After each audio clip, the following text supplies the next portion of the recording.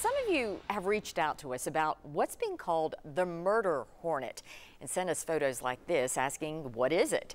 Now, we talked to a professor in the UT Department of Entomology and Plant Pathology, and she says you do not need to panic. On the left is what you have sent in.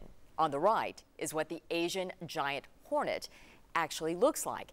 Jennifer Tsuruda says what you keep seeing is likely that European hornet. They're commonly seen in the eastern U.S. She says the insects, though, look different. The Asian giant hornet is typically larger. It also tends to have simpler bands across its abdomen, whereas the European hornets are more elaborate.